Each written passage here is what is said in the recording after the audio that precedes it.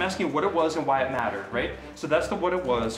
Why did it matter? We see project-based learning as a vehicle for teaching the traditional skills. Students are expected and prompted and guided to take on these interdisciplinary experiences that then have them drawing pieces of information from lots of different sources.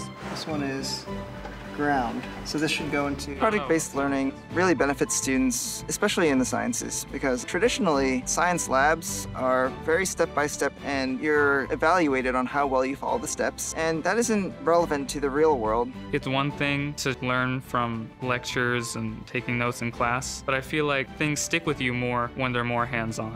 Project-based learning begins with a real-world issue. It's something they can't just go online and Google. They had to do all the traditional skills to arrive at this bigger answer to the issue. Project-based learning is a lot more hands-on. You get to learn a lot more in-depth than what you normally would learn because it's a lot more interactions between people instead of just being in your own world taking notes. This isn't even a Confederate monument. This is actually a revolutionary The project-based learning, you can see the bigger picture of what you're learning in class. Students are so wrapped up in the issue, they almost don't notice that they're learning reading and writing and those traditional skills. It is so much more valuable to students to actually learn math by doing things that are applicable in the real world or in their own lives. The word reflection in math, or if we're thinking about it in real life, of like a mirror, what does that mean? Students are able to see this activity as they're doing it and start to really take ownership in understanding those materials. We study like a passage, and then we take that to the next level. The kids act it out. We are taking the time to develop the story using our own words, using our own vocabulary, our own languages. It reinforces Barrie's mission of hands-on learning. We're not just talking about projecting your voice to be a great performer.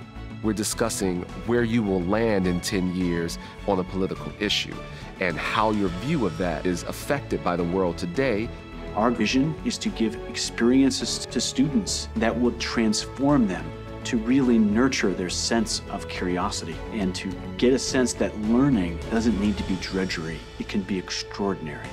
Project-based learning really gives kids a taste of what it's like to be a professional and to be a real scientist, to be a real engineer, because they feel like their decisions matter.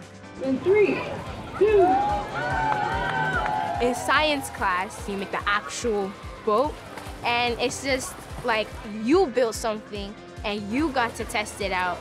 If you take a glimpse at them in small groups or when they're socializing or together, you can see that they are all eager to be here and learn something. Project-based learning, with its focus on critical thinking skills, collaboration, and teamwork, really prepares those students for the 21st century. It's more of a relaxed way of actually understanding what you're learning.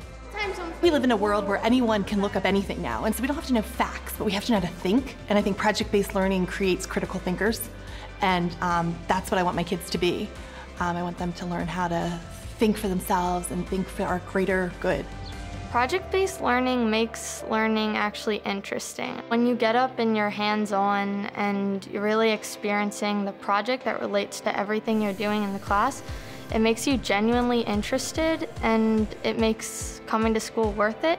Project-based learning allows the child to, to be independent, but to, to thrive in their own shell, in their own space. Any student who can walk away with a deep and nuanced understanding of some topic or answers to some questions, to me, that is why we learn. We believe that through these signature projects, students learn better. They learn in ways that are meaningful for them, not only for today, but for the future.